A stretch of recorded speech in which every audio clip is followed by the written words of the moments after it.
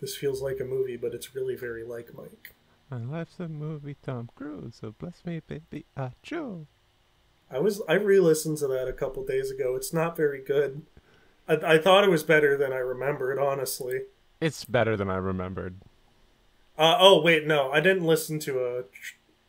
I didn't listen to Thank You. I re-listened to Title. I forgot. Oh, Title is Ti- is a good album. I've decided.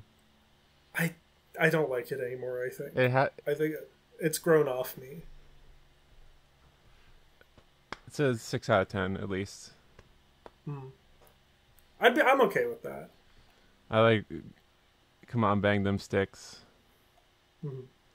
The dumb, the dumb drummer, sicker than the swine flu. I still like um I like the title track for some reason, and I also still like 3 a.m. 3 a.m. is her best song. It's a good song. It's really good. It, it, it I, I, I kind of I prefer Me Too, honestly. I mean, Me Too. Me Too is nearly perfect. Um, Yeah. Me Too. I I also I like What If I, Mhm. and I okay. I actually also like Walk of Shame a lot because it's about something that Yeah. that that young girls will relate to. Who in here can relate? Uh, Oh my god! I put my pants on inside out. inside out. Yeah, that uh, that that record means a lot to somebody. I don't. Re- I I think that that that's a fine record for somebody to put a lot of meaning, I- just, like emotional effort into. I know? put I think a good. harsh amount of pure contrarian, like Stan power into Meghan Trainor. I'm, like, like I- honestly, it's it's like it's fine. It's it's like a decent thing to do that with.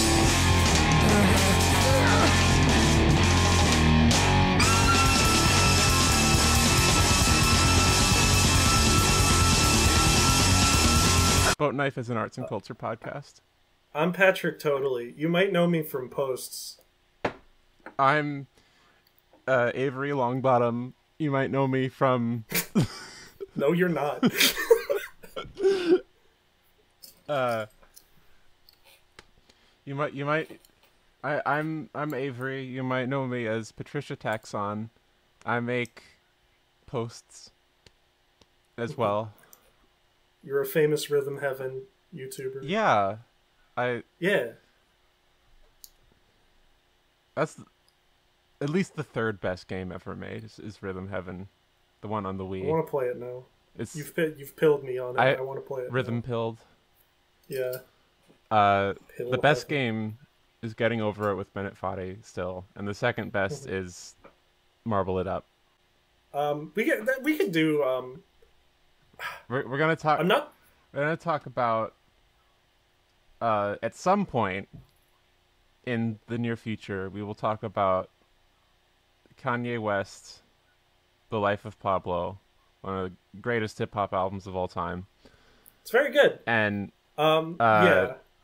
and or um, the concept album, film, music video, musical thing by Melanie Martinez called K12, which is slowly becoming my favorite film ever made. Uh, I want to actually no. Can we do that first? Because I'm really excited to hear your thoughts about that. okay, we're talking about Melanie Martinez's The Wall first. Yeah. I I uh I I don't. Uh, this is my first exposure to Melanie Martinez in any context. Yeah, me too. I didn't of- even. I said I was gonna do my my homework and like actually listen to her first album, which is actually like conceptually. Uh, before it Yeah, that one's called Crybaby, right? Yeah, and, and it's about the character Crybaby as a baby who we then see go to school on Oh, K twelve. Is Um, that why people were getting it mad at her for wearing diapers on my timeline? Okay, I understand now. Because that was literally my only exposure was like people I know like saying she was into like ABDL or whatever. Yeah, um so K12 is a 90-minute softcore age play porno. It's it's very hard to describe K12. Like if you ask someone, they'll say it's just a bunch of music videos. Strung together with a threadbare plot. It is a it is one really mediocre like Disney Channel original that begrudgingly had 12 music videos shoved into it. Um Mm-hmm.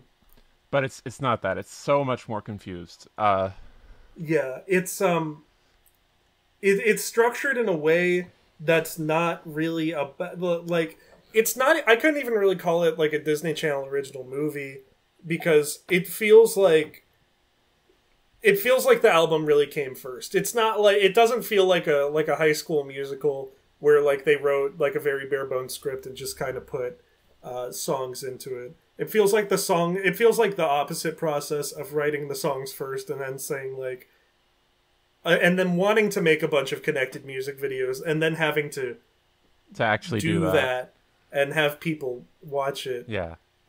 I got really scared when they made the bus fly. Yeah. I was, I actually, I think that was like, like a proper means of brain breaking me a decent amount to get me into the into the into the Okay, like- I'll, I'll tell you like Yeah, like yeah, the yeah, go, headspace go, that I was in. Like you don't know this going in, but every song is some combination of like Melanie Martinez singing about herself, Mm-hmm. uh, Melanie Martinez barking some political issue at maximum volume, and Crybaby, the character, existing in the album's universe, and they're all some of that to some degree.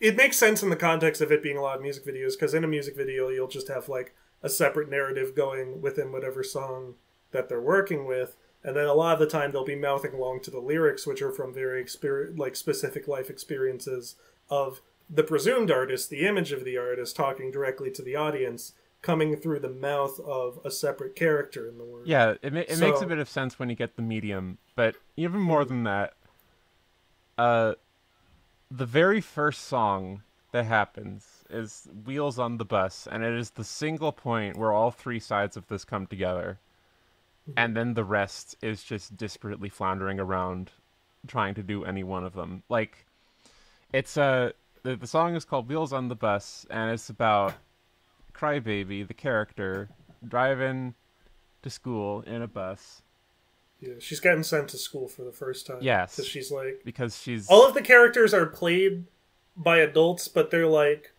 they're they're going to like school, and it's like a very big hand gesture of like first time going to school because it's not really stated if it is kindergarten. If the if the rules are just different in the universe The- and it the- doesn't really the- matter that much. the fans talk about it like each song is a different grade because there's 12 songs oh, okay. That's why the period song comes near the end. Okay. uh All right. but but like the the song it ha- it it exemplifies a kind of songwriting that I have been aching for in like mainstream pop music and that is like gratuitous squirmy amounts of detail Mm. in storytelling like it's a, a really deeply uncomfortable track uh it's it's about it's about her sitting in the bus and it has this wistful nostalgic feeling about it but like the things that she's describing are like very they seem like they're just passively quietly like traumatizing her. And then it like hits it's home with the with the idea that no one's watching us don't give a fuck wheels on the bus. Uh so it's like that's the way things go. The wheels on the bus go round and round and kids get passively traumatized by their surroundings uh Yeah, and I, th- like- I, I had a I had a strong negative inverse, like an in a very strong negative reaction when I first heard this. You have you. I was sending message to you just to you while listening to the track. Like I don't, I, I didn't like it. It was scary. oh Um, I no no no. I did not that I didn't like that. Not I didn't like the song itself necessarily, but like it was like a very w- strange note to start on, and the way that like it made me very uncomfortable in spending time in the universe as a whole. Which I guess, which looking at the work as a whole, kind of worked to its benefit. That it did start out on this very like strong, uncomfortable note. yeah uh, And- of just like passively being traumatized and like it got me hyped Having- honestly like i was prepared to like this film and then they get there and and crybaby talks with her friend like oh i don't know why people are afraid of dying it's just another part of life start in the womb and you end in the tomb and I, I the dialogue is level zero in this film i hate it so much it, like every and then there and then there's and then there's a ghost. there's a ghost Then they walk by a ghost and the ghost yells at them. Why what what were the ghosts? I have no idea. Like, there's a lot of things that were probably going to expanded more before there were fucking budget cuts. Like fucking Mrs. Oh Harper. Mrs. Harper The is the the what like the so, the, one of my fa- one of my favorite nonsense dangling threads in the movie is the sequence where like it cuts to the principal's o- yeah it's it's like they they cut to the the, the principal's office and they're just like they have introduced this new character who is a trans woman named Miss Harper who has recently come out of the closet and is like saying I I am affirming my my gender identity publicly. And then they're saying oh well we think you're st-, and then the principal's like all evil so he's like I think you're fucking stupid. And then they fire her and she leaves the movie By That's Queen. the only by Queen. She exists to uh you said that she's served a bigger role in like an earlier draft. Yeah, I'm pretty sure. Uh, I I heard that's just But, I just heard that in fandom mutterings, but um, but she does exist in the movie right now Yeah. to be introduced and be and be gendered and then get fired from her job. yeah, Very, incredibly funny. funny. Um, and I mean, technically, it's like it's the the catalyst. Like like uh, Crybaby experiences a mind vision of the trans teacher being fired, and that inspires her to do the song "The Principal," where she talks about the principal. But I, yeah, like I guess, but also like the her being able to blow bubbles has like an emotional arc and is like has like I, I guess a not very subtle, but like a full setup and payoff, and she's just kind of like there for the one time. yeah, um, There's a lot of there's a lot of like loose dangling threads, which this is a weird one. again i have i have i have less of a pro this is like a it's a it's a format that i haven't seen too much um i know that there are other movies that are essentially long music videos like um uh jacob's been telling me about um a movie that hype williams directed called belly that uh, I- has a lot of like extended music video esque sequences in it. I'm uh, like that I know we're gonna talk watch. about Kanye West later, but I did not watch Runaway. Oh yeah, I also didn't watch Runaway. I didn't listen to Dark Fantasy, honestly. I I did. Oh well.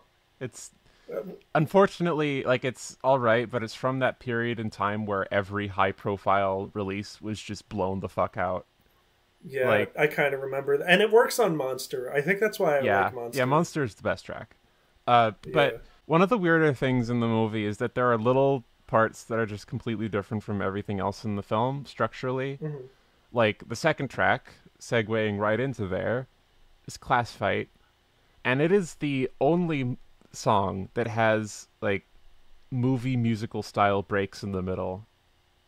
Like It is, isn't the it? only one. Uh, Drama Club has that one line in the middle before the last chorus, but it's not to the extent of like the structure of Class Fight, where it's verse, long dialogue scene, verse, long dialogue scene, Yeah, yeah. and it's. And the thing is, the song's lyrics are describing the opposite of what's happening on screen, so it doesn't even like make sense as a movie musical style sequence. Because, like, it's about like if you listen to just the lyrics, it's uh, it's, it's just Crybaby getting jealous of Kelly having a boyfriend and beating the shit out of her. Uh, and in the movie, they reframed it so Kelly is threatens to, to beat up Crybaby at recess, but then she becomes Medusa in self defense. Um, and, I do, and it- I do like the way that uh, magical elements are integrated as being just kind of like a thing of like, the, I, I do like the magical components in the sense that they introduce um, this notion of being able to even if they do have infinite power even if they are do like technically within the text have total control over this universe and have there's no no problem that it cannot be like solved without like beyond just like a like a big fight scene. It's still oppressive just because of um, it's still an oppressive atmosphere to be in just because they're very young and there's no notion of how these power structures are affecting them so they're not even really confident for most of the film of what to attack. Not even even beyond the notion of there being like of them being traumatized without being conscious them being acted on by these power structures as a whole in ways where if they wanted to make them um where if they wanted to make them the, the shit change it's like they don't even know how to how to feasibly change they, because they're just little kids. they were they were planning to just wreck the entire school from minute one to minute done. I don't I don't agree. They were, they... but it didn't. I guess, but it's like it took so long, and if it, we really are approaching it from the notion of it taking that long to do that, it's like the process of maturation. It's not a process of of accruing power. It's this process of accruing knowledge over the course of the film, which is kind of fun. Yeah, that makes sense. Um, but that's just a theory, uh, as you said. A like, game that theory, was like a fan theory, a game theory. That was a game theory that kids came up with. Uh, but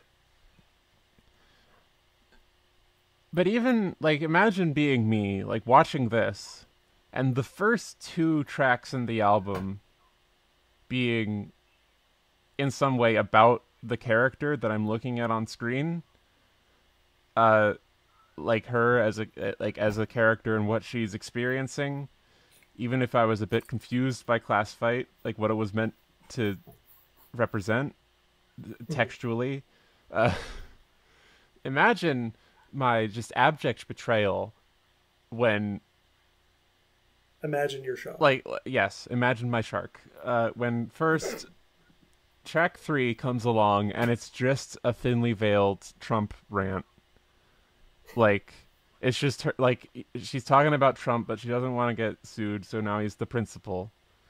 Yeah. Uh, and is is like you know like third like third graders do. Yeah, uh, and then track four is her being mad at her Stan armies, mm-hmm. like, which fi- is a fine grievance to have if you're Melanie Martinez if uh, you're not in fourth grade. Actually, I do kind of hate that now that you're bringing it up. That notion of like the the main compelling factor being them maturing and and like and like assembling in a progressively higher numbers as it goes on, but also like there just being these tracks that are like that where it feels like it's completely like it, the issue like issues are completely understood and being addressed throughout the record yeah, so, like, yeah, like, I don't. Crybaby never seems like she's confused about anything. Like she's always yeah, the wisdom bearer.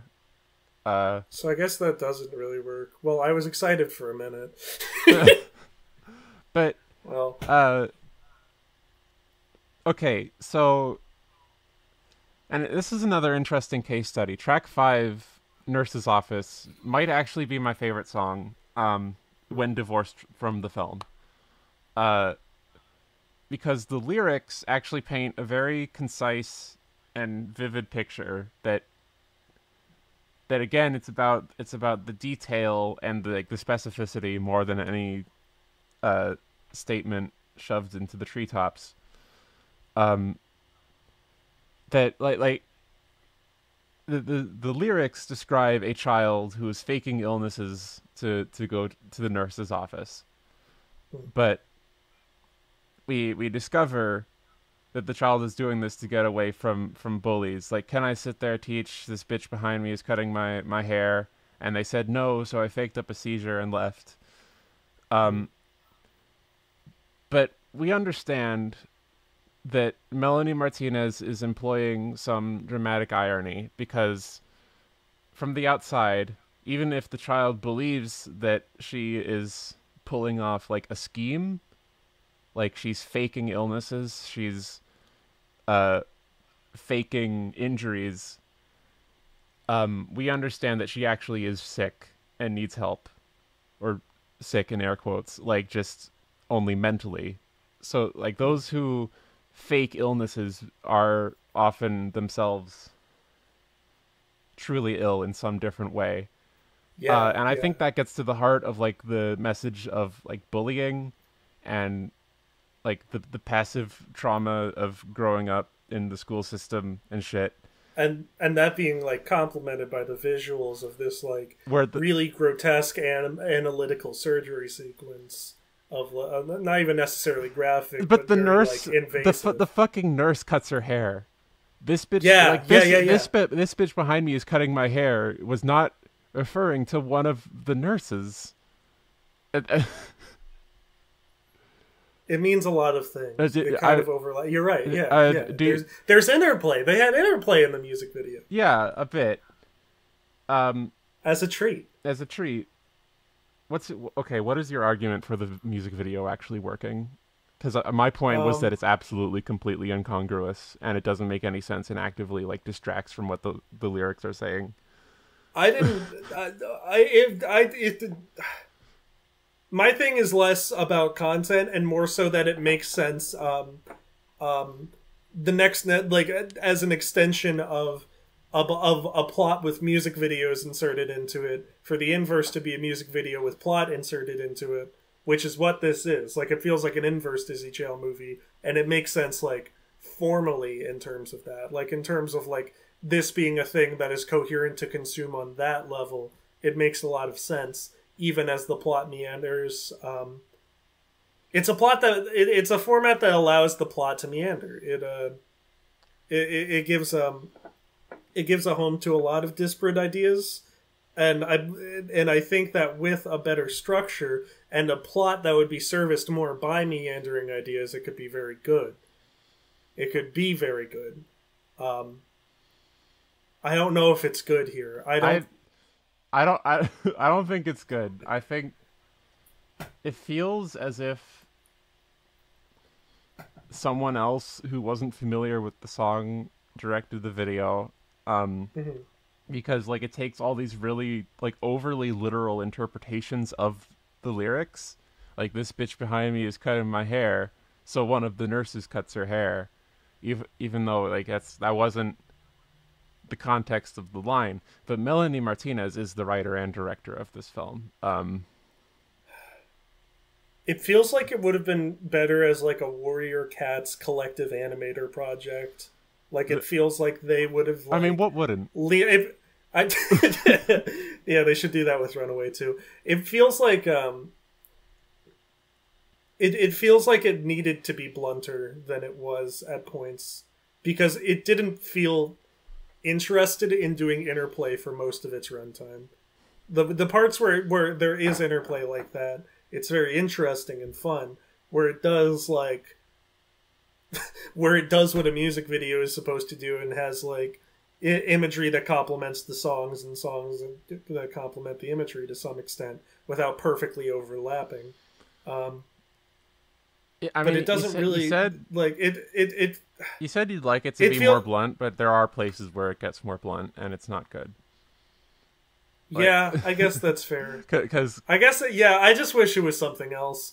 I don't know. I don't know. Uh, what did you think of that part where the director says, uh, "Turn to the first page of the script to see your assigned roles," and Melanie Martinez says, "Oh, what if we would like to be assigned a different role, like something less domestic, like like a like a ah. film director or the president of the United States."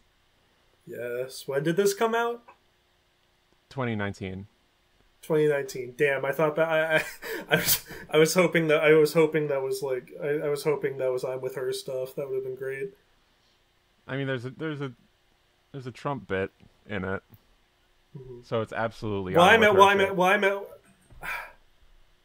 I wish this was made. I think I would like this a lot more if this was made before the 2016 election because I would be able to just like compartmentalize a lot more of it in my head as like blue wave Hillary bullshit, which would have been very funny to me. But, But- but as then- is, it's still funny. but then- but then- no, no, no. I, I, yeah, I brought this up while I was watching it too. That was like a like twenty minutes after um, the bit of uh, the bit of the trans woman getting fired, and they're like, "Wow, that's such a bad thing that happened." And then twenty minutes later, they're doing like a female brain supremacy bit, extremely funny. Yeah. Extreme- yeah, like they, like they, like she says, like uh, I'm emotionally intelligent. I can do things that you can't do. yeah, uh, is uh, our capacity to feel emotion is what makes us brainily superior. Uh, Word. word. Um, uh, Melanie, Mar- Melanie Martinez did not say trans rights on K twelve. she did not. She she conjured a trans woman to get fired. uh, She is allowed. She she she is uh, she's rocketing um miles towards an incorrect trajectory towards trans rights at a rapid speed, and I'm happy for her. She's going so fast. uh, God. So I'm gonna skip ahead a bit. Um,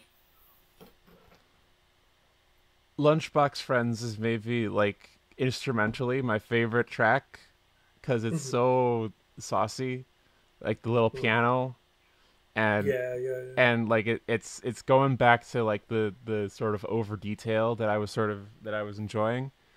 Um, yeah. But It was it was a very produced record. There was a lot of production at every point on the record. Um, but fucking, if you read between the lines, it is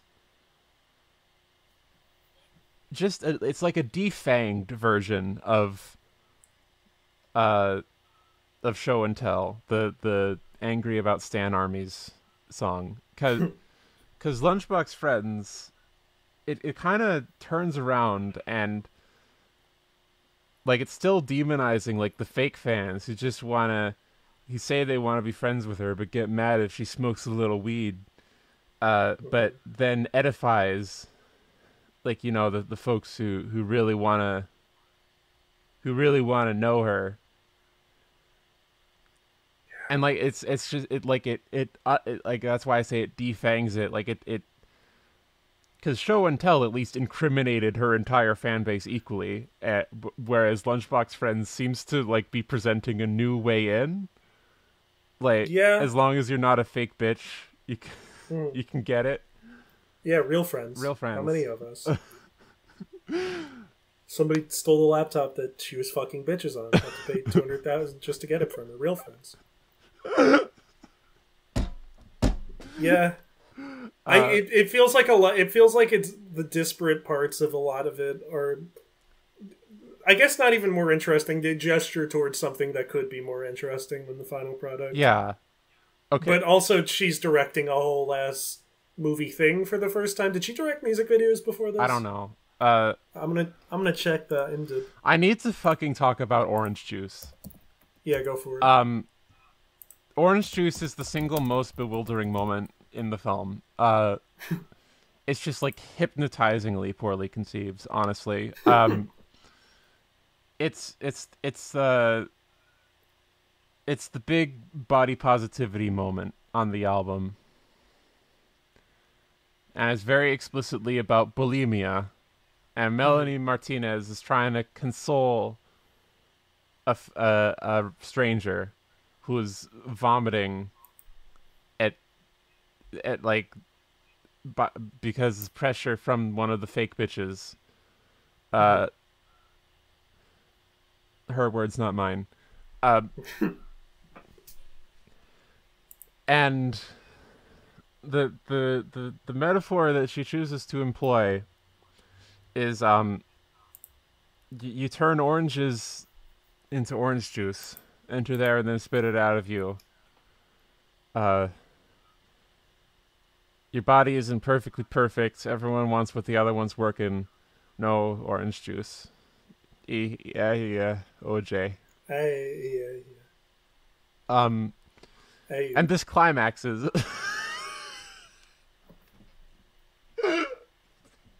Yo, your fucking cats behind you. Yo, turn around. The woman's there. Yeah, there she is. Um, Yeah, hi. but I should let her out. Go get her. Avery's not here right now. Avery, she can't hear me. She's she's opening the door for her cat.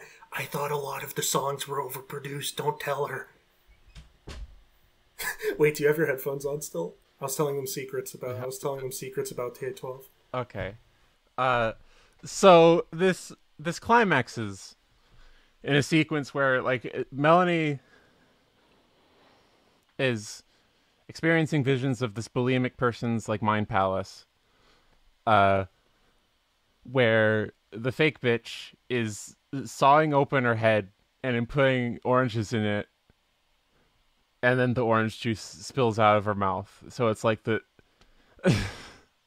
it's it is the most poorly conceived visual metaphor for anything in existence. like I don't think that. I don't think that's what bulimia is like. yeah, it, it's Because it doesn't. Because like bulimia doesn't seem like it's a transformative process in any way. But I guess it does I mean, kind of go you in do- as you one do, thing like, come you- out as another. you, you do transform food into vomit. I guess There is a- it's, there it's, is a- it's a a, weird. It's it, was really weird, wasn't? it? I didn't think much about it at the time. I guess because I, again, again, I was brain broken at that point. I, I, I, I was just Oh, allowing I these things. To I've watched this film like four times now. What the like- fuck? Okay. uh because like i do continue finding little things that i like about it like like it was just recently that i really considered the the lyrics for nurse's office and how it actually like paints a very concise picture um and then orange juice put put the oranges in her head and it she barfs it she Really makes you think. Really, Really- makes you think. really makes you think Kind of says a lot about society. it kind of says a lot about oj I've um, beat murder charge like OJ. I saw a lot of um, like I've checked her IMDb. She did do a lot of what they've chosen to call video shorts instead of music videos um, on her page.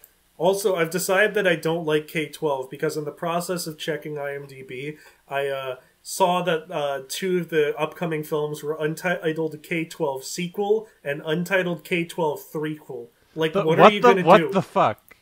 I Are we are we gonna do thirteen through twenty four? Like what? Welcome to like what? Like what? What's it gonna be? Melanie Martinez has confirmed that there are two more movies she's, She's- writing set in the K twelve universe. She's doing a She's doing fucking Jacob Collier.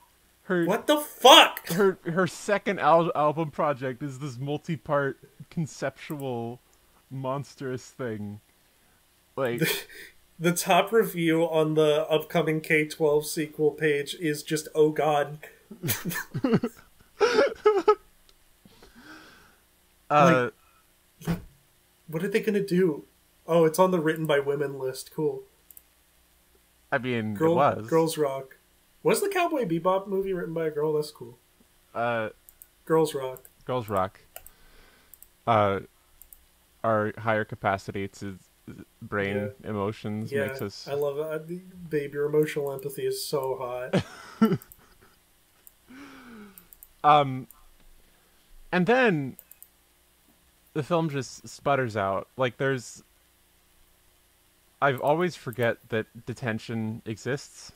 The song, uh, because you know what? Like I too am brain burned after Orange Juice. Like that. That's the climax of like the tastelessness of everything in that album. Like it, it just and it's all downhill from there. Like there's a there's a, a track about statutory rape. She tackles that. Um and it's it's there. It's there's There's This, a this this high school's a little bit fucked up, a fucked little up, bit twisted, Um, fucked up. fucked up, and You then send your kid to this high school, they're gonna get fucked up. Okay. and then and then and then uh high school sweetheart happens and it's like a good song but it also what's it about it's just dear future husband by Meghan Trainor but it is. but uh hot topic We're fucked up. it's it's it's dear future husband by Meghan Trainor wearing an invader zim shirt like Yeah. It's got it's got like my to- my neighbor Totoro uh, In- like handbag like coin purse. Yeah. attack on titan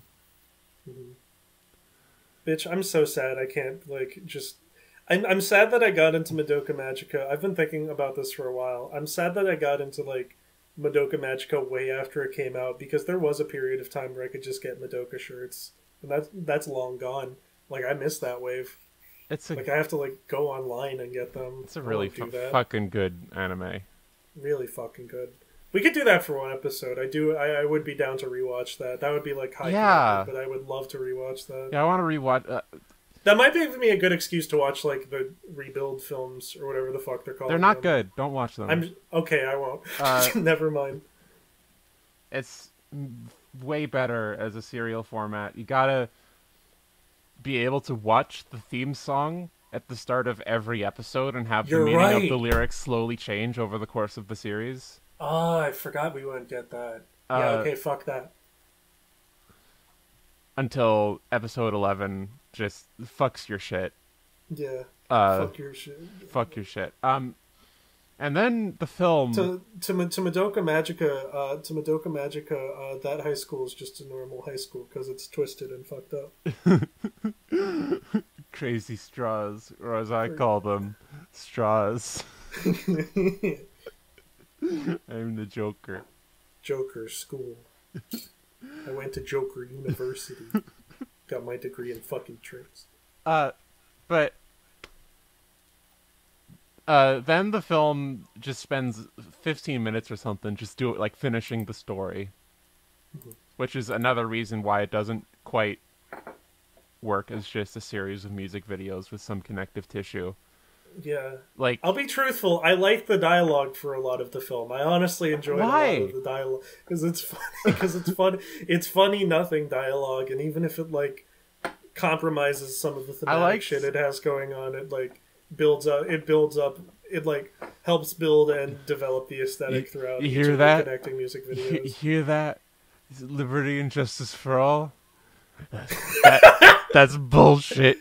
They That's they did they did just also invent like like a like a person of color to get sent to the principal's office, which. Oh, they, they brought Thank another. you. They, they brought another one back to be your lesbian interest in like the last ten minutes of the film. Thank you, Melanie. I love you, Melanie. More like melanin Mel. Fuck you. Fuck you. I'm cutting that too. Ah! yeah, the last ten minutes kind of just just fall the fuck apart.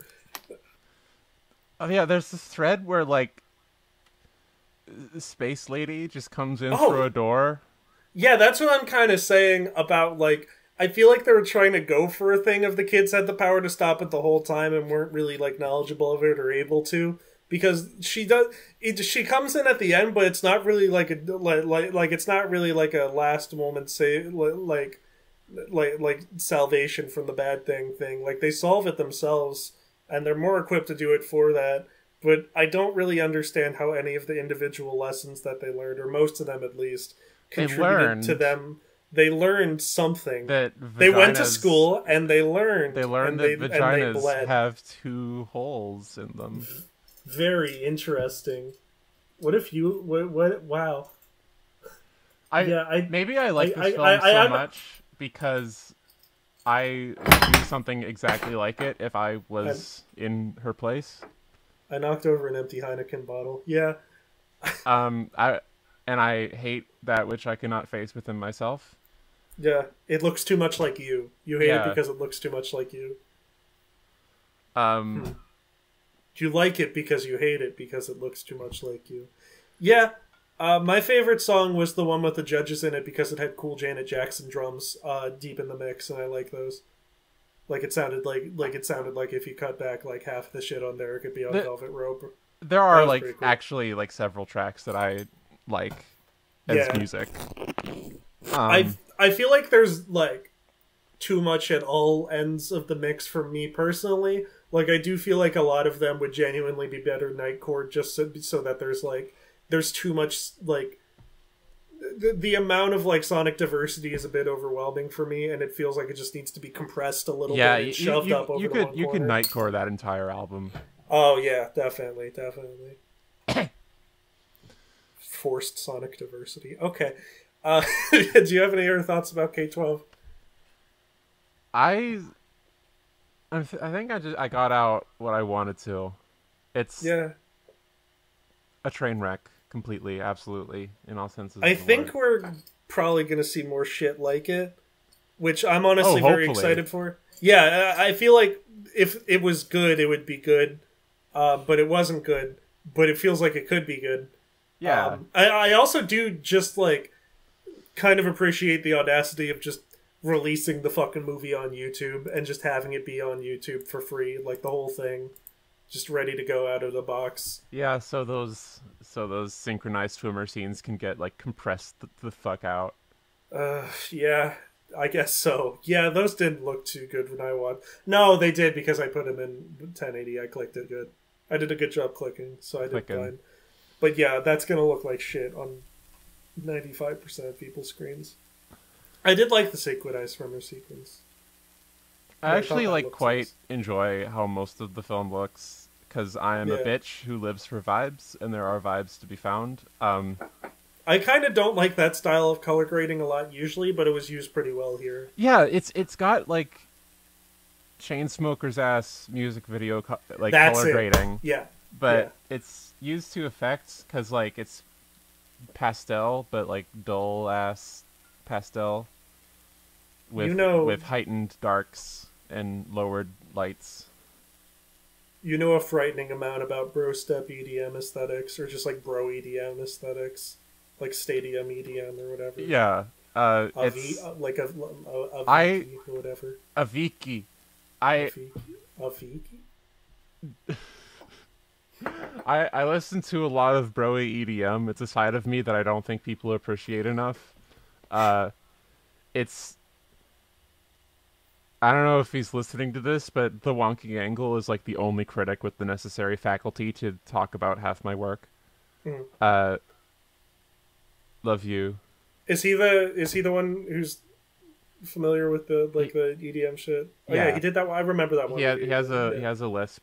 He's a, yeah. a bit Yeah, scruffy. yeah, that king. yeah, that king. Okay, gotcha. Um, Okay, thank you, Wonky Angle. Thank you, Wonky Angle. I'm gonna refill my water, and we're gonna talk about Wake Up, Mr. West. Wake up, Mister. Wade. Big booty beats for you. All right, you start. Okay, This is your idea. now this was my idea. Now for our second disparate media property of the day, we're going to be talking about "The Life of Pablo" by Kanye West. It's such a good album. 20 really fucking good. I've I've I've been spiraling deeply in love with this record over the last like year or so of my life specifically. It's maybe the best album, probably not, but it's really good. Really, really fucking good. I. It's a strong eight. I, I think it I think it might be perfect. I. I can't really think of changing anything about it, which is ironic considering that's the life of Pablo. But Del- delete delete Saint Pablo. You don't need it. I'm even torn on that at this point. Okay, let me start with um, note about Kanye West and his broader discography. I think that the way that people that a lot of people approach his discography is rather flawed. Um, the notion of old Kanye and new Kanye is very well documented, and I think that is a very real thing. Um, and uh, like there is like a very strong aesthetic divide between Dark Twisted Fantasy and Yeezus that is addressed within the content of the LPs too. I thought old Um, Kan- Kanye was just the Bears. I'm not sure what 808s and Dark Twisted would be, but I consider it separate from New That's Kanye. that's that's old new Kanye. Yeah, medium Kanye. 808s. I wish that it held up better than it does. What? Okay, but off track already. But sorry. no, no, no. You're fine. You're fine. I'm. th- There's a lot to talk about. Um, I think that the way that people think about the the post the the new Kanye record specifically is strange in the sense that there is like okay let me talk about rate your music a little bit so if you went on to rate your music kanye west and go to kanye west page you can see the ratings begin like form you could find a credible emotional mo- arc in the ratings of the record themselves. Like you see oh there's a dip. Oh it rises again. Oh there's a dip. And that's very compelling to look at from a distance and say like wow these are very big this is an artist who has gone through a lot with their art and it's been very transformed and uh and, you and you could see these very definite slopes in the art in the quality of their art and their intent of their art over these like different periods of time throughout their career. Um i think this is dangerous. I think that being able to go on a website and being able to view these as a definite arc is very damaging to to like discussing these records as a whole. Because we can look at Ye and say like wow that's a big step down from Pablo um when because it's in the same category of album because it's listed as one of the albums on this thing and it's part of a downward arc but I feel like it's hard to address Ye as anything because it's part of a broader project. Ye is not Ye on its own. Ye is part of like this whole cycle of records that were these micro albums that were being released like within the original context of its release. It's part of this broader album cycle. It was part of this broader album cycle with the Ye record, uh, the Nas record, the Kids See Ghosts record, um, the um, um, the Pusha T record, and Teyana Taylor's KTSE, which all form this kind of like cohesive. All of these things were released originally around the same time within this specific context, and were all meant to support each other. There are all these different there were all these different approaches and sounds that within the content of this original release express this like sudden burst of new content. This like whole like menage of different styles. It's this beautiful. It's this beautiful cycle as a whole. And Ye feels kind of incomplete on its own. It really does. Um, as a record, it feels like something that doesn't really build enough to justify a lot of the like very. It doesn't build enough to justify the end of Ghost Town. It doesn't build enough to have this repeating chorus playing out into the void. Um, it doesn't build enough to have this thing that to have a contained emotional arc within itself. But if we consider it as a part at the end or near the end of a broader series of album cycles, it makes a lot more sense. It was the It makes a lot more. Was it the first one? Yeah. Okay. Well, it's still okay. Well, fuck me then. But it still is being reinforced by other records surrounding it. I'm There's gonna- still other shit there. I'm gonna listen to all of those. You've convinced Yeah. me.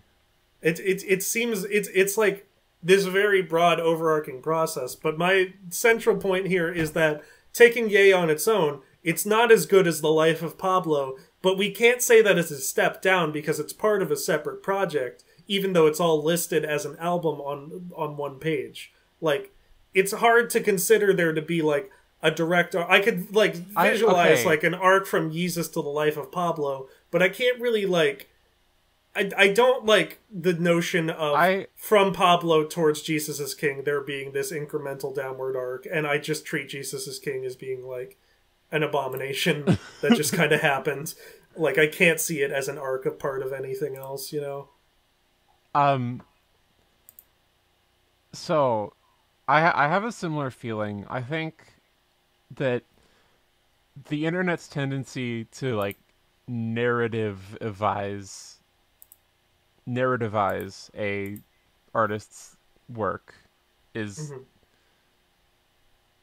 or like give them a narrative in favor of their work or uh, in favor against their work um like fucking that asshole pinkest pink guy ass fuck ass Fuck ass. drama queen like like taking t- like like taking an artist like as with as much of a respected background and history as Anish Kapoor and like purposefully fanning a petty pointless artist drama because you didn't get to use the death black material that kills you um It like the funny color that makes you die if you look at it. Yeah. Uh and doing that and basically can like erasing this guy's work and legacy in the eyes of basically the entirety of Tumblr.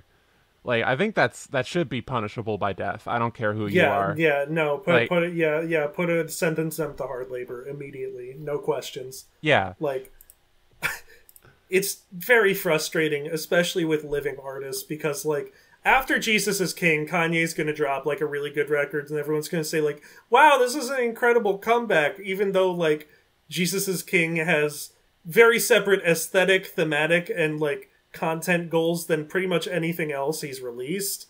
It's just it's it's like completely set. It, it, it's this thing where it's like sometimes it's invited. Sometimes I can deny with Kanye more than most artists it's invited. Like we can draw a lot out of Yeezus being released after Dark Twisted Fantasy. you can- but we can't draw that same amount of content out of Jesus is King being released after Life of, Pablo. you can draw a and that's lot like from- that, that's a that's a dangerous tendency. It's really dangerous Yeah. when you're approaching it. But even like when they're not alive, like fucking okay. Y'all know Marvin Gaye, legendary singer song songwriter. Um and like his family institution sued Robin Thicke for uh blurred lines and they won that case. Um and those fuckers over at the Axis of Awesome actually made like a parody track of Got to Give It Up called Got to Rip It Off and it was like this taunting jeering thing about how like oh this song is technically fair use so we're the guys that you can't sue even though we're the ones that actually ripped you off and like who the fuck are you It's I- Marvin Gaye. It's Marvin like Gaye. What? Like- like, what are you doing? He's Like- not here. He's not here. He's not Like- in the room. and, and Who like are you the, fucking talking to? like and it's directed at Marvin Gaye as well Yeah. so like, like you know these yeah, just fuck you, Marvin. some, Your parents suck shit. like like some some fucking white assholes who have contributed nothing to music except for the four chords of pop being codified which Yeah. you know what honestly we could have done without that uh God, I'm just Like- getting mad. I'm just getting mad looking at Kanye's Rate Your Music now. Gold Digger is not bolded. excuse me There is no reason for Gold Digger to not be bolded. It has a 3.49. Are you fucking kidding me? don't don't Oh. get too mad about rate your music they think Foley Artist is my best album It's not. I, Foley Artist is good. It's really not your best album. Oh well.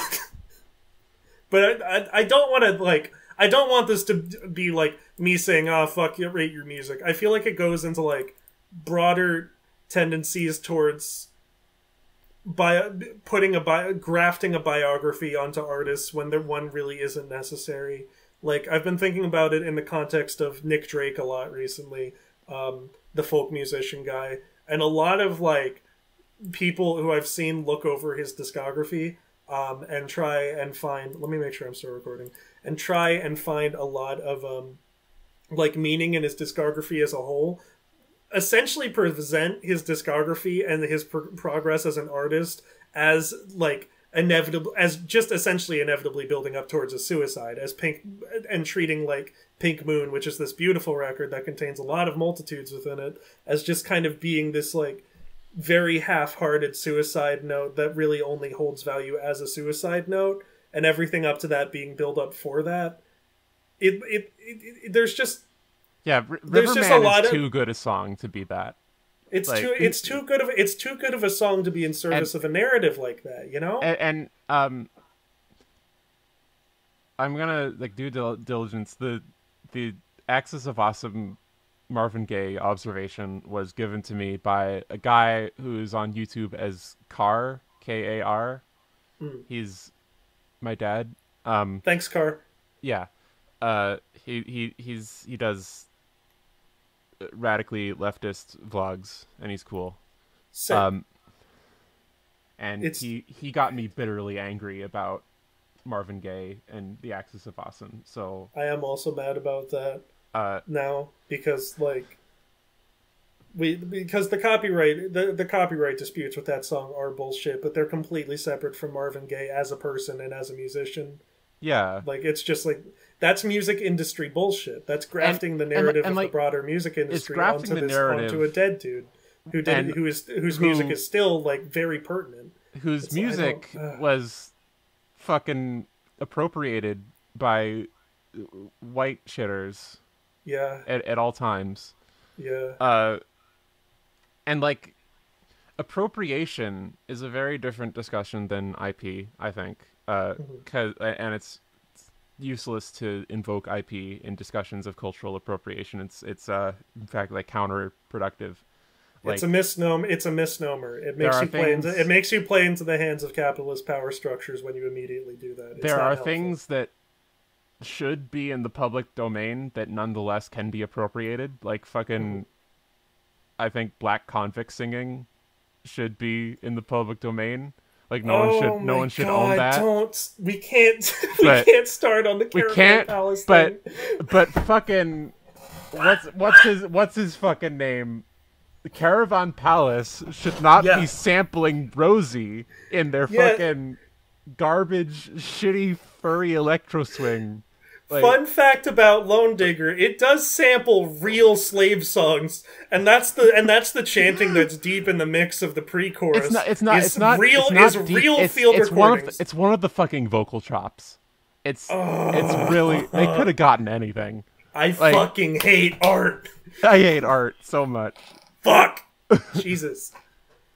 so you were talking We're, about we're rate getting your music o- Okay, Boat yeah, Knife we're is an going a arts and bit. culture podcast Boat Knife is an arts and culture podcast. We're going a bit. I, I went. I drove this a bit off the rails, but I did just kind of want to make the broader point before diving further into Life of Pablo as an album specifically.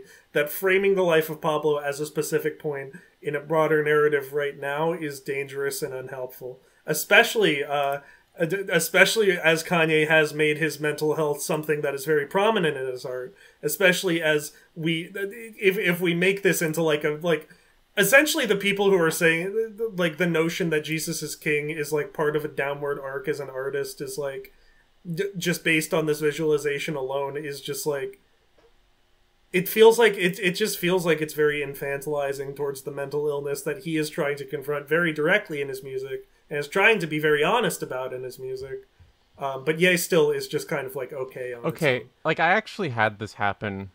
Hmm.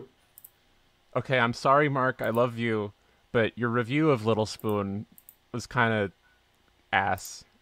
Oh. Like I, I- it's it's okay that you didn't like it, but like he made this.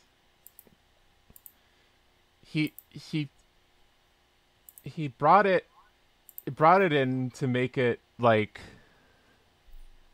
a part of the narrative of Patricia Taxxon's lackluster second half of 2018. Like, oh yeah i remember that shit yeah at, like, like where where he put like telecommunications majesty and two tone on like a downward arc, and now Little Spoon was me like trying to get back my old fans who like my cutesy electropop stuff. And like the which are which the- are all tracks that which are all albums that are completely like in content and in like everything in concept everything completely different from each other different in content and also when I was fucking working on them as well. Like yeah and uh also all of this is within the span of like 5 months. Yeah also you- and also you're like also you were like 20 Yeah. no, I was I was 18. oh shit yeah you were ba- you were super baby then yeah A Little Spoon was 20 2018 Christmas. Mm-hmm. yeah i remember that fuck that was a good time That was a Uh, good Christmas. But I get what you mean about rate your music kind of fostering this exact yeah. sort of.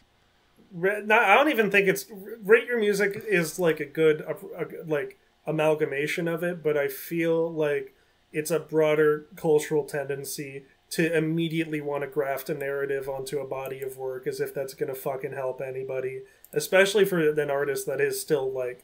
Uh, like like an artist that is still active and very much so in the public eye, The if now more than ever. Uh, but I want to I want all this to say that I think that uh, so that I can say without like with I can say that Jesus is king is ass without it affecting any of my sentiment relating to Pablo. That being said, I did listen to Jesus is King for the first time since it came out in full um, as, as a preparation for uh, this podcast, and it's really fucking bad. It's really, really fucking bad. The Pierre Bourne tag at the end of On God was like a jump scare. I screamed in my car. I forgot I was there. I forgot that Pierre. What I forgot that Pierre did come out here. Reuniting Clipse to do two ass verses that take up combined like each of those individual verses are given less breathing room than Kenny G playing unaccompanied into the void immediately after the second verse. What the fuck are you doing? so- so Use this that- gospel makes me so mad because there is a good version of that that got leaked that exists, and he chose to release a bad version. Is is that is that a car noise or is that like a Wurlitzer pressing one button over and over again? Like like an I uh, think it I- sounded like either like it was actually recorded in a car or it was an electric piano. Yeah, Water's the only track I like, and it's only because of the production. I probably would like Follow God if the verse was better, but it just kind of trails off at the end. This feels like a movie, but it's really very like Mike. Okay, Life of Pablo. Um, Life of Pablo is a good record. I, I think I think I I I I, um. I think that I started the. I came in very hot onto this one, I guess, but Life of Pablo is like a very exciting for record for me for a lot of reasons. Um, yeah, we could start with the um, we could start with Saint Pablo, I guess. Um, I've been trying to um, okay, well, I guess to future proof this, there is a one uh, very big important aspect of Life of Pablo um, is that as it was being released, it was kind of being updated and tweaked. Um, there's very long logs you could find online documenting all the changes that were made to different versions of the life of Pablo. And it Uh, exclusively music- got better. Like, yeah, it it did, except for the version of Wolves that made it worse, which is funny, so it's fine. But um, Rate Your Music actually has them documented pretty well, so fuck Rate Your Music, but also they did a good job of archiving all of those separate ones um, with credits and everything.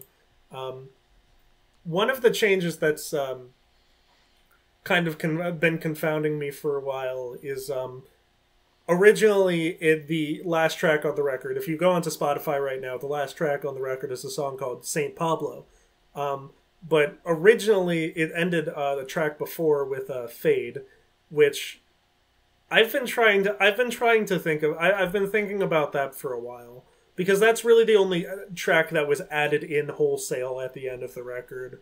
Um, a lot of it's people a- said a- that Fade was weird as a closer because it's just this kind of swanky, like down tempo boomf boomf that ends with it- this sort of empty void like collage of samples.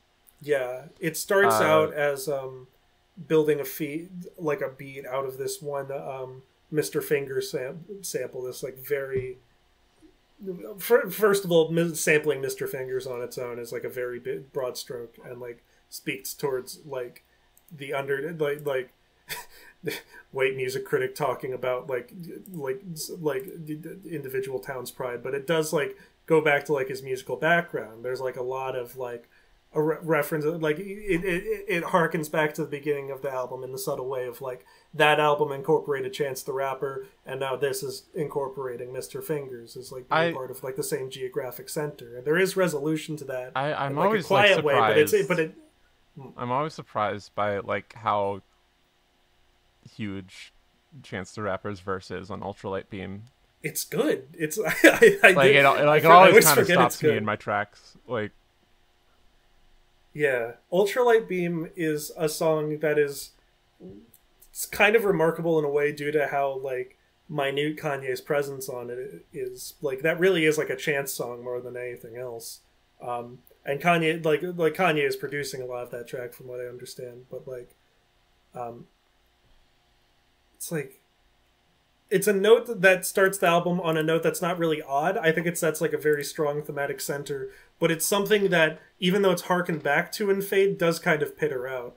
Um, and then, as the album was being updated uh, and altered on streaming services, this new track appeared called Saint Pablo that is kind of like I guess it's kind of it's it feels more like a direct conclusion. It feels a lot more like a f- traditional final song Like on the record. Show-stopping number right at the end, which to me it felt like you were like it was wrenching it back out of the grave. Like the the hmm. album had been slowing down.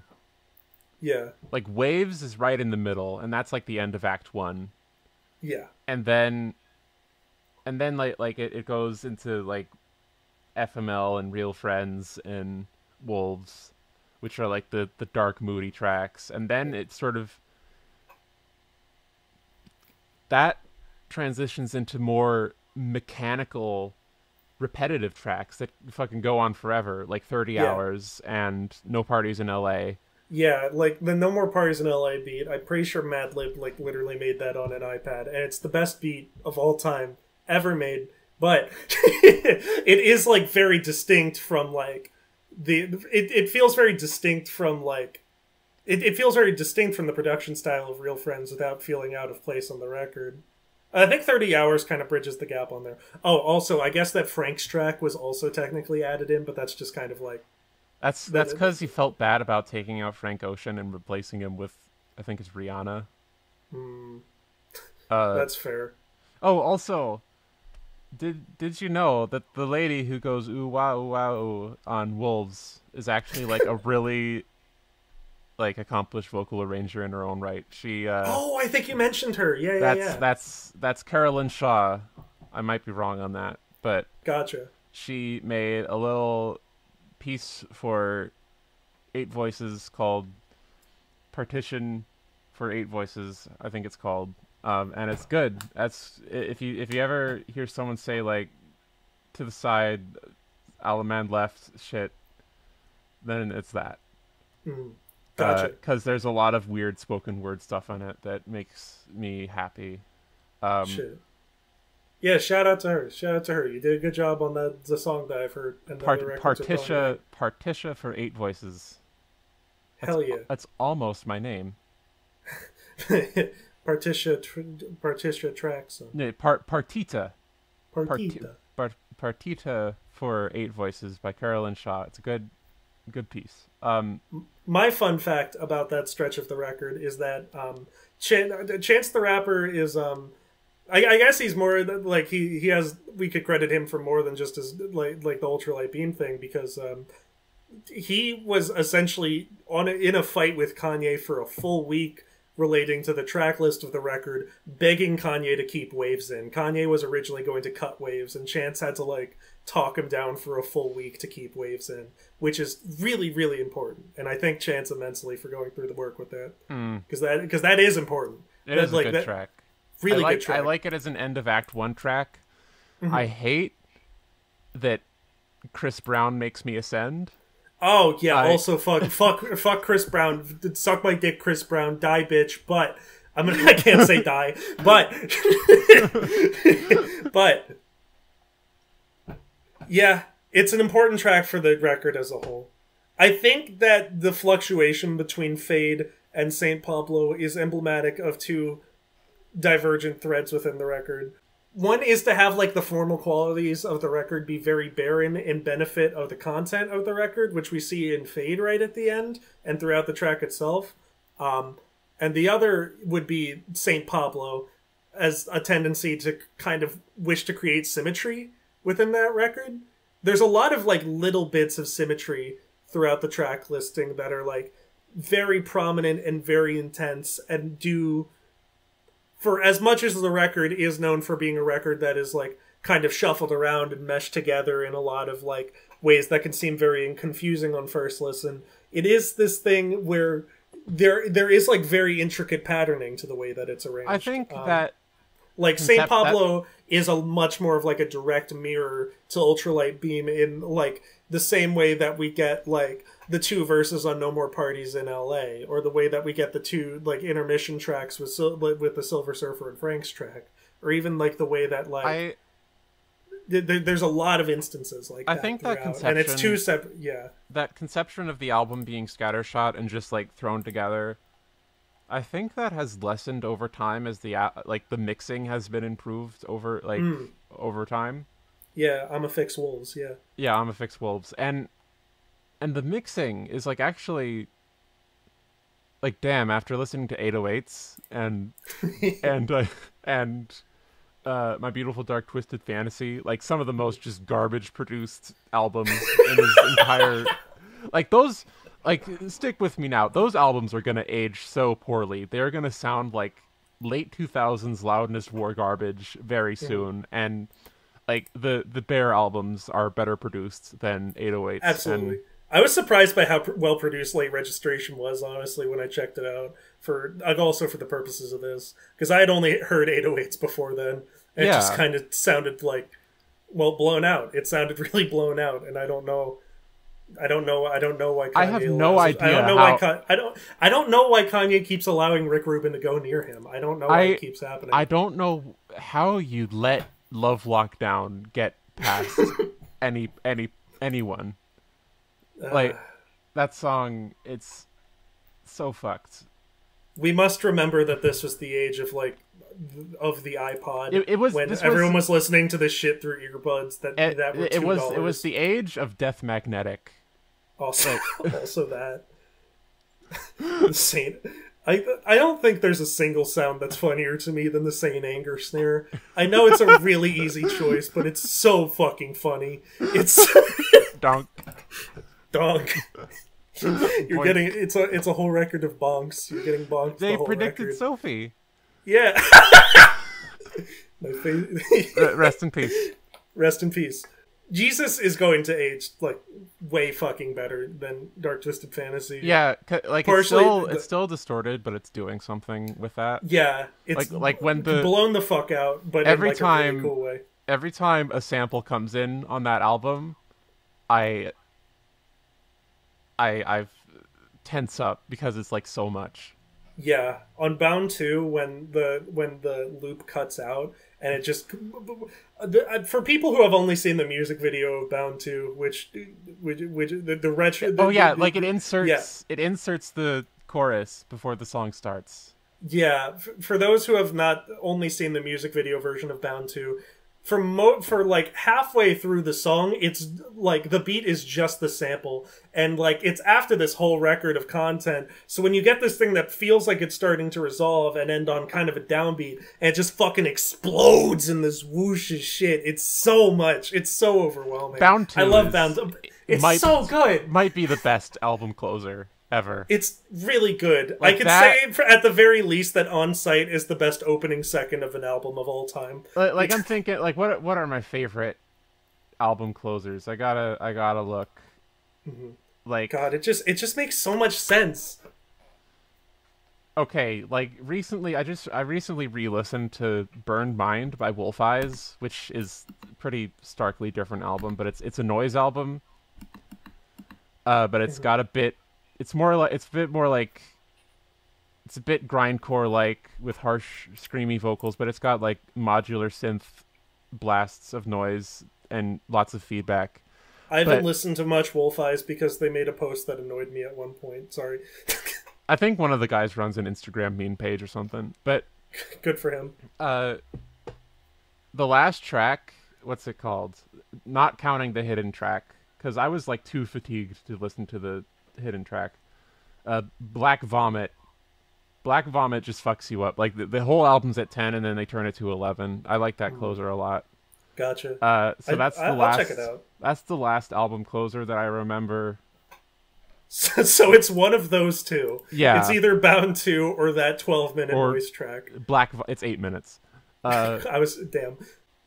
Spotify no longer lists "I Am a God" as featuring God, which is unfortunate. yes, I hate that.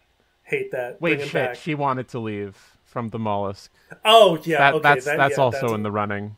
That's the, the that is probably better than Bound 2, but it's Yeah. difficult. It's It's- diff- it's it, a it very breaks hard my, It, break, it breaks my heart to say it, but that one might be better. she might be wanted to leave. She wanted to leave is the only song that like consistently makes me almost weep whenever I listen to it, and I don't even really know why. Still, okay, we can, we'll talk about the mollusk another episode. Yeah. I think No More Parties in LA is my favorite track on Pablo, but I but as I've expressed to you several times, my favorite moment of the record comes on Freestyle 4. Uh, Desiigner, we, we talked about Chance, but I would like to propose that Desiigner is the secret MVP of the record. I like how they both just sample one of his songs in its entirety and then also let him feature.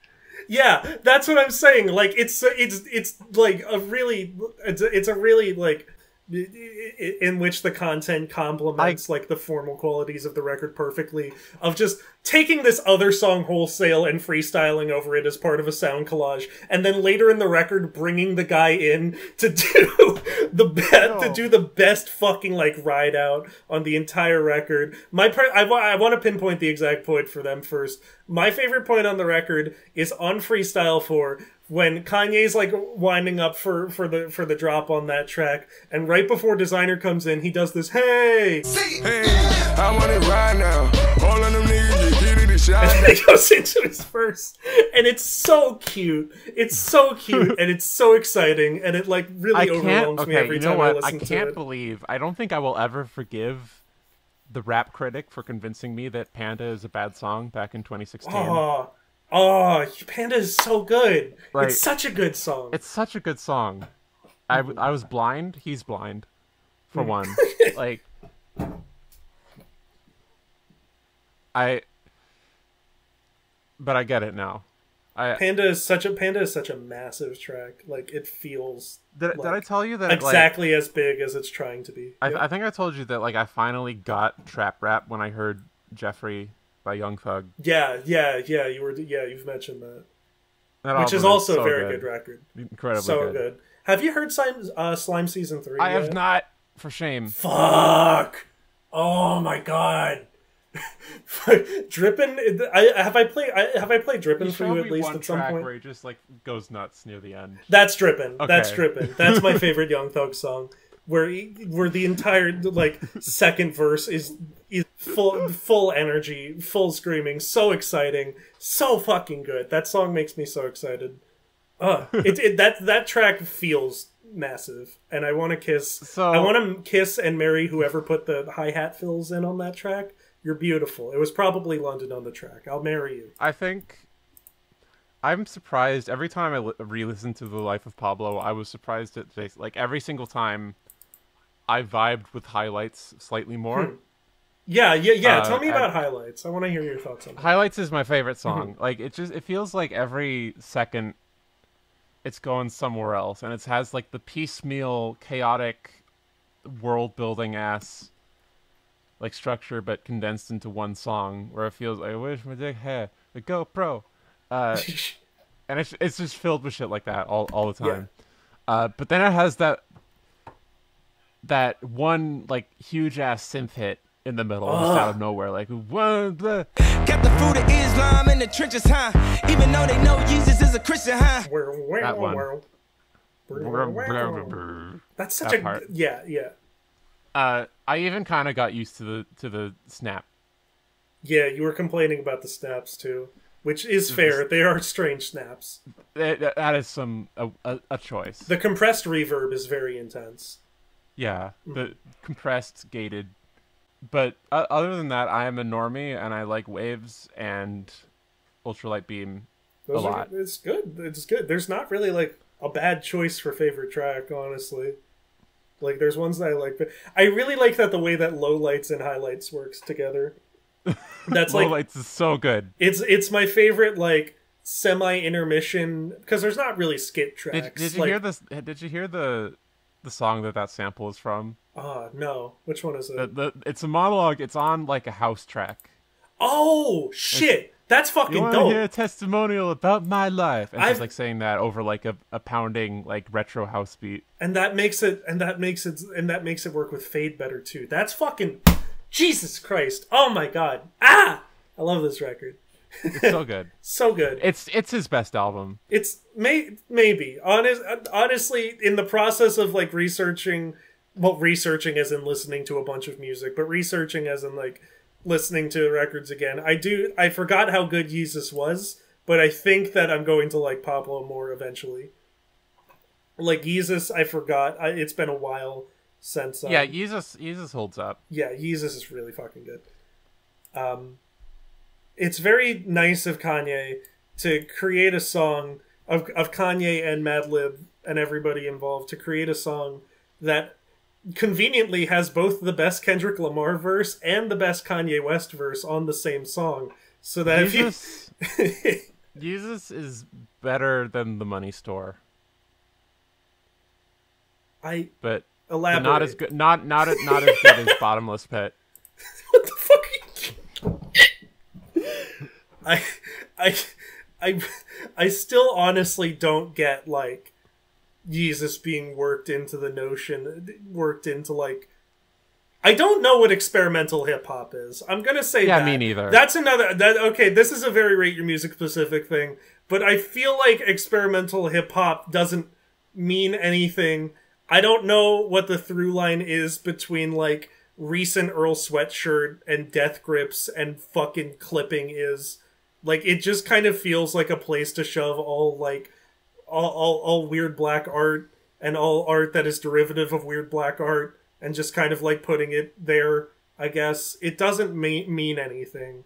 Experimental Mid-City is a hip fucking good album. experimental hip hop means People- people nothing overlook to me. that. Mid City is a good record, but I don't know how it fits like It's as a genre in a in geographical terms and anything terms. I'm looking at the chart right now. Fucking Viper is on this chart. Like, what do you mean? I okay. I am not fucking game for Viper revisionism. Not- like, I will not. don't like I it. will not stand. Like, there's this. Th- okay, you know what? That's what I'm the saying. It's thing- just a place where like black art that people think is weird is put. Uh, that's why I don't like there, it. there, there's a there's a thing that internet music people do that I hate, where like whenever some artist gets big, um, doing something that is intentionally a bit skinchy, uh, and rough around the edges, like 100 gecs comes out and suddenly like digital distortion is cool again. Mhm. Uh, and then some fucker says like, "Oh, you remember fucking my teenage dream ended? She was doing 100 gecs before 100 gecs." Like just it doesn't mean that when someone does something that is purposefully sounds amateurish that anyone who didn't know what they were doing was ahead of the curve. Like yeah, I think that's Uh, like that's more done indirectly in jest, but like I have seen some people like try. I think the the notions of outsider art and experimental hip hop are dangerous for similar reasons. Like it feels like a place where art is put when nobody wants to deal with it. I Like- yeah, because um I it took me a long time to wrangle with this, but 100 gecs is a fucking well produced album. it's good. It's a really good It- record. like when it, I hate it. Um but Okay, it, it, it is a well mixed album. Mm-hmm. Um, you don't get stuff that sounds like that if you just let it peak and don't do anything else to it. Uh, it's not just thoughtless. It is a engineered album. they had a really specific aesthetic that they were going for with it. Yeah, and they got uh, and they achieved it. They did what they wanted to do with it. Yeah, and the only good song is "Stupid Horse." Okay. Uh, well, well, that's your thing. You're saying that. You're saying those things about it. And this is why. This is why Pat Jennington is a net negative to society Yeah. because he he treats like unpleasant art or like outsider art, whatever that is, as like a fucking tourist destination. He talks about. I fucking hate the way he talks about Pulse Demon. He Ugh. he treats it like it might as well just be any harsh noise album. Like, oh, it's such a, it really, it's such a palate cleanser. It makes you appreciate any music that you listen to after it. It's Like, just it's- the, the it's a- process of being un- unanalytical towards noise music in that capacity as an introduction to introducing the genre and then simultaneously treating it as a homogenous being is like doing a great disservice to like Merzbow really is doing in like but people He's doing interesting stuff. he's doing Like, interesting stuff. He's interesting within and within the noise field. At least he like I haven't listened to much Pulse of his Demon yeah, yeah, has individuality within his uh Mm-hmm. within his discography. Like it's um it's one of the loudest mastered albums, but it's also one of the barest. It like it because Venerology, Venereology, whatever however you Yeah, pronounce the it, that funny, was funny, like, funny purple man.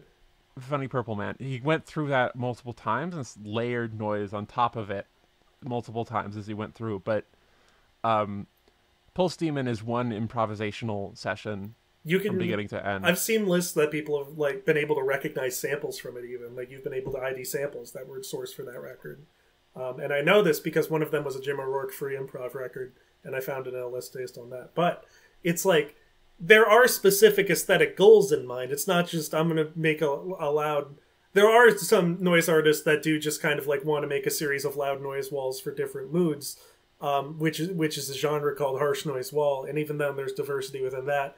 But the notion of like in, of introducing it and then immediately compartmentalizing it as being emblematic of the whole genre when really it's doing like thing when really it has very specific aesthetic goals in mind within that genre like Merzbow is an artist who at least for the first part of his car- career i haven't listened to a lot of his more digital stuff um, for the first part of his career he was always approaching noise rock from the or uh, harsh noise from the angle of uh, psychedelic rock to some extent. There was always a psychedelic uh, angle to it.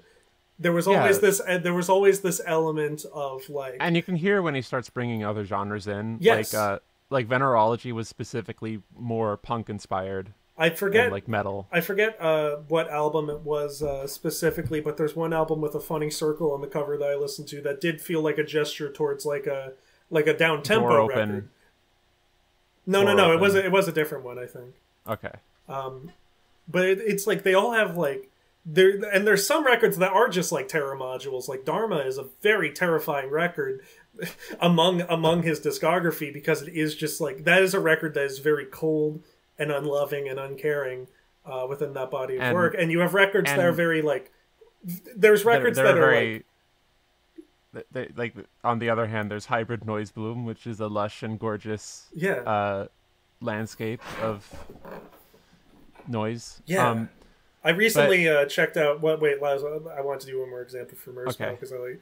Um, I did want to bring up uh, an underrated hit that I found recently, which is a, a record called "Hard Lovin' Man," which is uh, a record that was made out of samples of one Deep Purple song, I believe, called "Hard Lovin' Man," and on top of it being like, again, leaning towards like the more noise rock direction of, of having like a very specific aesthetic tendency. It's like it's a funny record. It's a funny record to listen to more so than most of the ones in his discography because it's coming from this kind of like jokey. It's it's coming from this jokey kind of intentionally like f- faux machismo. Like it's coming fr- from a place that's uh, in, intrinsically going to form this kind of ironic bubble around it that makes it more enjoyable to live, listen to. There's I even want- within his discography, there's like multitudes within it.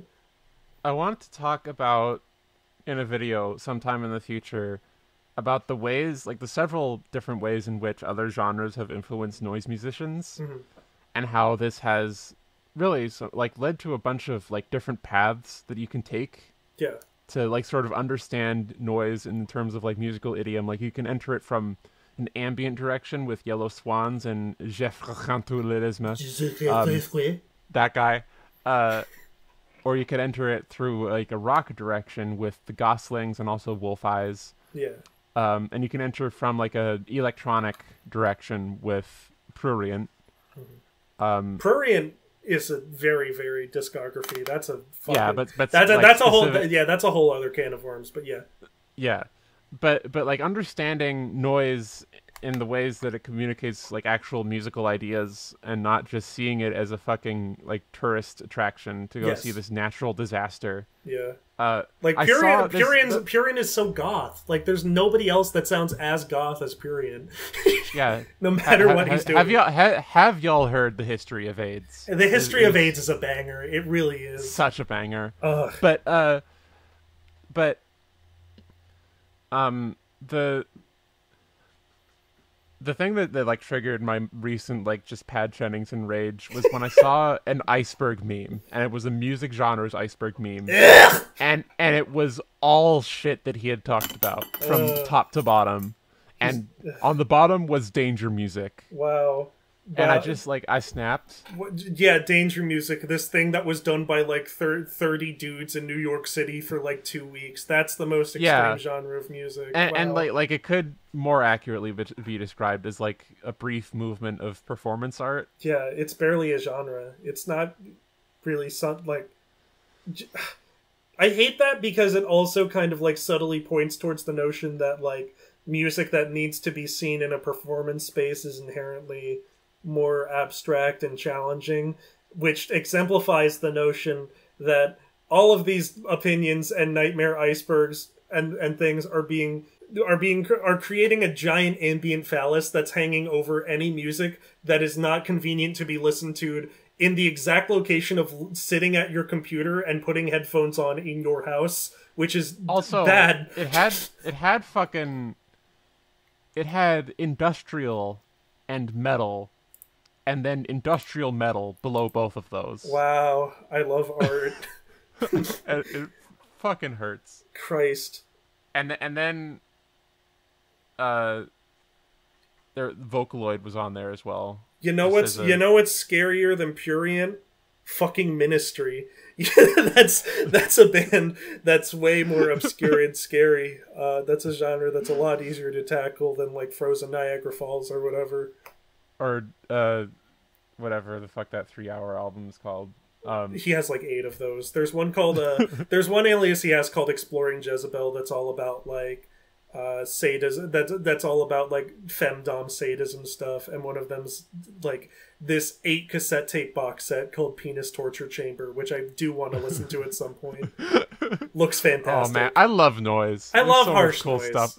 So much cool stuff to find. I I would be doing a service if I let more people into that genre. you really would I like. did you know that the w- william bennett from white house plays genshin impact I don't fucking care about White House. I have i care about white house i like when the man yell funny I have cooled on buyer's market, and I don't want to talk about it. yeah i also don't want to talk about fuck you peter sotos suck my dick Fuck you. fuck you peter Don't do not do not. I, yeah, Peter. dick. Peter, please don't suck my dick. I don't want you near my dick, Peter. I Uh, like I like the parts of White House where the funny man does a yell. Pablo is a record that feels like very in love with the content that it's presenting and the form in which it's presenting it. Like all of the things that brought draw attention to itself being an album, like the intermission tracks that like there that all of the there's for the amount of intermission tracks on there, none of them really feel like they break the flow of the album in any devastating way. Like um I I don't like Sur- Silver Surfer intermission. I I that one I always that one that one that one always- tests me a little bit, but I like I it. always have to turn the volume down because it's so like the guy's voice is so tinny. Silver Surfer. It's, it's like Silver Surfer, but the Silver Surfer is inside your ears, stabbing you It's so because the like, the the silver is surfing into your fucking trachea. um, but even then, like the stuff where it's like the really long ride out portion on the end of thirty hours, um, that oh, honestly, I'm thrilled that thirty hours is part of the main track listing. It would not have worked as well as a bonus track, um, but. ha- Having that long section at the end lead into No More Parties in LA, which is something where you do really have to pay attention to the lyrics for a lot of it to get a lot out of it. Um, that's Gabe Collin. uh, that's Gabe Collin. It's important. Gabe Collin is important. They're in love. It's it's part of that audio is included in the record because it's good audio and it's fun and it's funny to listen to, uh, and it and it feels like a very casual stop on part of a broader tour. It feels like every bit of content is important. and that's why I like Fade as uh, an outro for the record kind of more um, than uh, Saint Pablo because the way that it ends, it has this like the, it has the final verse and it has like a big climactic point but then it has this fade out section where the elements of the track are slipped away and slipped away until you're left with just the main Mr. Fingers sample. Um, and the thing that I really love about like the last couple seconds of that track is that you can tell that there's like uh, you can hear the chop in the sample. There's like an audible snip uh, every time that the sample loops, and it's not something where and it's and, and it, at the I always comes that vocal chop sam- sample is like really visibly like grainy. that too uh, that like, too, 'cause it's slowed down, but and then and then the the I get lifted comes in and I ascend. But the point, Um, but the point with the like that being like that is not even that there is necessarily a point to it. It doesn't add anything to the record, but having those things be visibly part of the record, it doesn't draw away from it either. It's this thing where it's like, yes, I am listening to this sample, and it's chopped right there, and it's fucking great, and I love it. It feels like it feels like I think the reason the, the Life of Pablo, whether or not it's like my favorite album, which it might become eventually, um, it's my favorite record to talk about because it's so honest about everything that's doing, and it wants to get you involved with every um, with every step and every um, with every step of the record. Um, like I don't trust anyone who says like part two is a sound collage or whatever because it's not a sound collage. It's a bunch of cool ideas back to back, bunch of cool shit together that uh ri- that that uh reinforces Father Stretch My Hands Part One. It's not a sound collage. It's an outro, and it's a really fucking good outro. Yeah, that's that's it feels, meant. like, it Yeah. feels like a se- second part, Mhm. and then there's an outro to that. Yep, That's it's just it's just well put together. It's just That- oh, that's that's the other thing. Like a lot, of, the amount of times that there's a sample of something and then, uh, there's also someone singing it. Yes. That's the component of symmetry too. Like even track to track, like famous opening with like the, the with the Nina Simone sample being sung and then having it be brought back in later as something that's like as as the sample itself. That After song is so good. Oh my god, it's so good. Uh, and then Cutting- that's also reinforced by sampling an entire Desiigner track and then letting him feature. yes, absolutely. Uh, It comes full circle there. Can I say the the meanest part on the record is dropping the beat out when during the I think me and Taylor might still have sex part. That is easily the meanest part on the record. So rude. More so than Saint. Pablo. Yeah, Life of Pablo is an incredibly solid like work within itself. It's very enthusiastic about being an album. Um, it's I want to more. It's more. It's exactly like it. it's more random than random. It's not a mixtape. It's not something that was hastily thrown together. This is not like the life of Pablo is not like what a bunch of disparate ideas sounds like. Um, it, Yeah, it, it's, it's not. It's it's like we got to get SpongeBob back it's by Joe. well, you're, I, I don't want to go too deep into that because I know you're going to do like a thing on that eventually. But yes, it is Yeah. like it is like we got to get SpongeBob back. and Um, by extension, it's also like a Schoenberg suite. Mhm.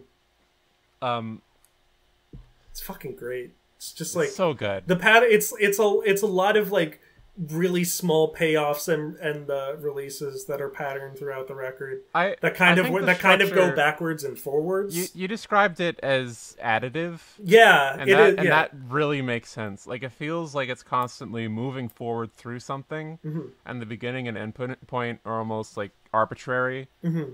and all the little bits of detail within what we're viewing feels like we're passing by so many different thoughts and experiences. i kind of am against And- that at this point because like i feel like it's not necessarily arbitrary the pieces in between it but like but like the I wouldn't say it's arbitrary necessarily, but all of the pieces being together in this one grouping is more important than them being in any specific order. Like it's all about like the symmetrical element is not that you could like immediately graph the the record onto like a one and two piece of things and find they perfectly overlap. It's the sense that it's all of these parts that were meant to go together in this order that feels like unintuitive at first and you and through the process of negotiating it is very rewarding I want to do that. it's really fucking good I don't like. I don't think I could do that if I tried, but I want to try it.